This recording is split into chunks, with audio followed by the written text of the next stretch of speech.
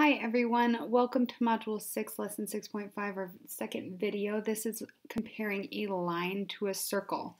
Looking at a line and looking at a circle, we can sort of visualize this. We can see this line going through this circle and we can sort of say, all right, if this line were shifted up on the y-axis, oop, let me scroll back out. I did not mean to zoom in so much. Whoops. So if this line were shifted up on the y-axis, we could potentially see this line not even touching the circle. If it was in just the right spot on the y-axis, maybe it would skim the side of the circle and just touch it in one place.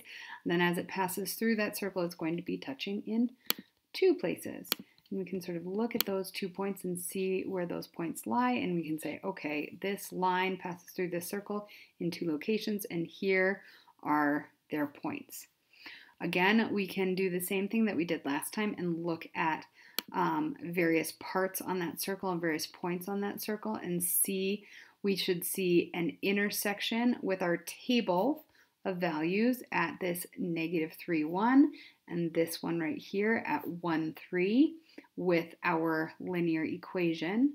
And if we look at our linear equation, we can see that those points are there. And we can see also those points um, emphasized in the linear equation as well, we can see that negative one and uh, negative 3, 1 and 1, 3. We can see those all showing up on the line as well as in the table. Um, to now look at um, some other examples, we can now see also here is an example of a horizontal line. This horizontal line, y equals 3, has always 3 as its y value.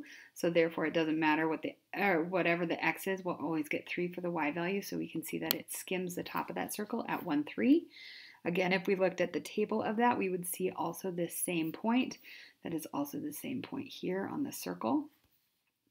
And last but not least, we can look at one other graph where a line doesn't even touch the circle. It's great.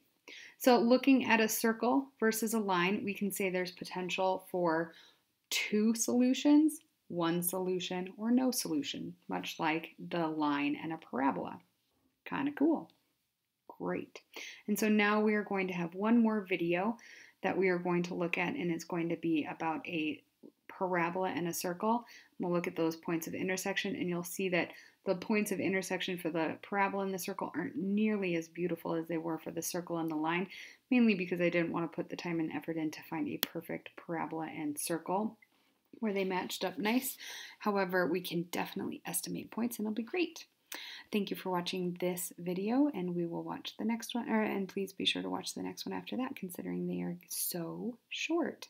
Thanks for watching. Bye.